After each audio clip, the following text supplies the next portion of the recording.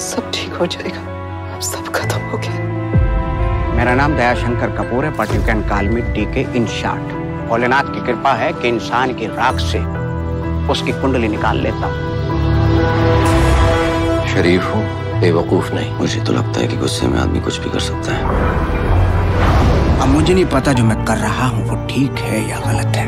गलत है। आप यहाँ स्कूल में this is your last chance